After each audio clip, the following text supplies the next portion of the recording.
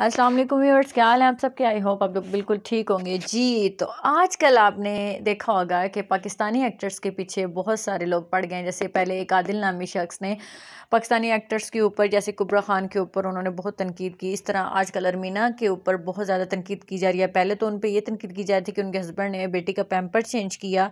इस बात को लोगों ने बहुत इशू बनाया है। फिर आगे से जो है अरमीना खान ने उनको कहा कि जो है ज़रूरी नहीं है कि हमारे सोशल मीडिया या हमारे इस्लाम में सोशल मीडिया पे आने से मना किया लेकिन लोगों ने आगे से कहा कि जो अच्छे घराने की लड़कियाँ होती हैं ये वो अपनी बेटियों को मतलब इस तरह सोशल मीडिया पे नहीं आने देते। तो मैं आपकी साथ कुछ अरमीना खान की वीडियो शेयर करूँगी ये आप देख रहे हैं। उनकी कुछ वीडियोज़ जी व्यर्स तो ये आपने देखा ऐसा क्यों है कि हमारी पाकिस्तानी अवाम को हिपोक्रेसी के अलावा और कोई काम नहीं आता? वो लोगों अपने बारे में कुछ नहीं सोचते लोगों के ऊपर हमेशा तनकीद करने में रहते हैं। या फिर कुछ ऐसा है कि वो हमारी जो एक्ट्रेस या जो भी लोग हैं वो आ, जो हैं वो करेक्टरलेस या वलगैरिटी में बहुत ज़्यादा आगे निकल गए हैं तो लोग इस इस चीज़ को बुरा समझते हैं। प्लीज़ जो भी है कमेंट्स में बताइएगा मेरी वीडियो को लाइक